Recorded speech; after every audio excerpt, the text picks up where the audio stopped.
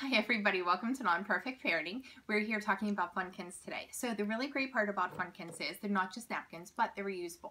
So for families like ours that are always outside playing and going on picnics and things, we like to take these along with us, bring them home, throw them in the wash, and they, we can reuse them the next time we're out or we're having dinner or people over, and they have super fun designs on them. Do you like those ones?